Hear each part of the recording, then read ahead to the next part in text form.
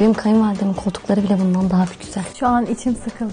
Apartmanın girişi bile biraz daha hareketliydi buraya göre. Salondan sonra burada da bir dehşet var. Bu tülleri yok. ben evimde ya bulaşık bezi olarak kullanırım ya da ikilerimi o kenarlara çekmek için kullanırım. Biz bunu buraya geldikten sonra aldık dedim Didem'e. Bize katın. sizdeyim ben de.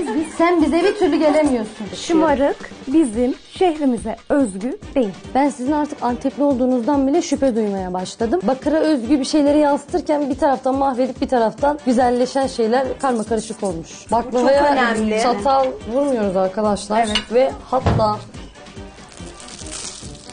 Gelin Evi bugün yeni bölümüyle Show TV'de.